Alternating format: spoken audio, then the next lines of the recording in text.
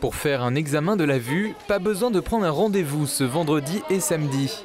À l'occasion de la journée mondiale de la vue, initialement le 10 octobre, plusieurs partenaires se sont installés place de la République ce vendredi. Ça nous semble important euh, bah, d'aller sur la voie publique à la rencontre des, personnes pour alerter.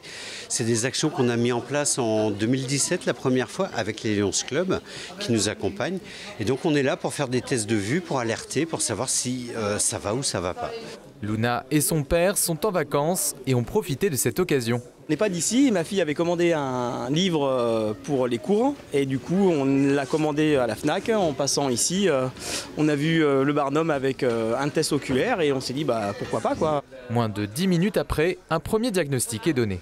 On a regardé l'échelle d'acuité en vision de loin et en effet j'ai remarqué qu'elle avait que 9 dixièmes. Donc 9 dixièmes c'est juste pour le coup. Donc là j'ai invité le papa à retourner voir l'ophtalmo euh, voilà, pour aller faire un contrôle. Il est encore possible de faire cet examen gratuitement et sans rendez-vous ce samedi 26 octobre de 10h à 18h.